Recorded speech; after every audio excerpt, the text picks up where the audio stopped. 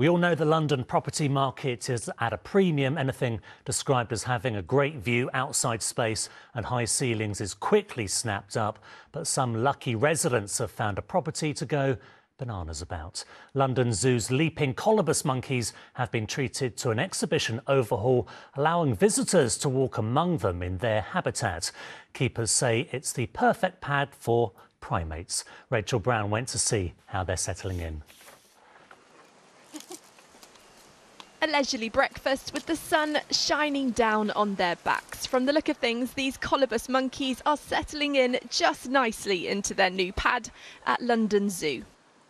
Panoramic views across the city, lots of trees to climb up, and plenty of things to nibble at. It seems that their new home is going down a treat. It's been such a long time coming and we are just so thrilled. Look how good it looks. It looks amazing. The colobus are happy, our staff are happy, and I think our visitors, when they start coming in, are going to be very, very happy too.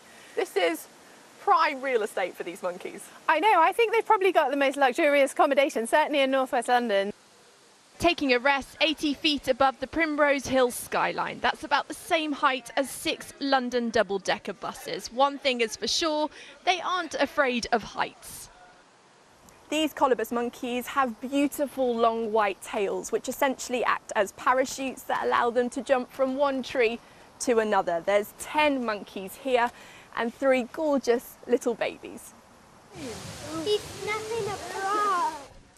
Today, one lucky family was chosen to have a sneaky peek in Monkey Valley before it opens this weekend. Visitors will be able to walk alongside the monkeys, taking in their acrobatics up close and providing some unexpected entertainment for the kids. They do funny stuff. What have you seen them doing?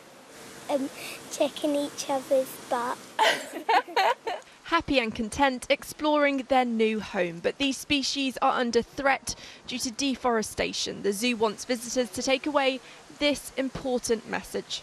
As a visitor, you're a guest for a brief time in their habitat. But that's a real contrast to what's happening in the wild where we're, we're not guests, we're very much encroaching as humankind onto the habitats.